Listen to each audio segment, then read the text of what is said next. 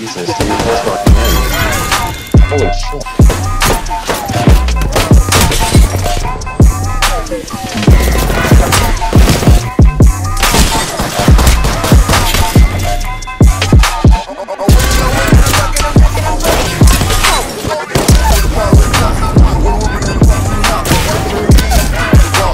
left off.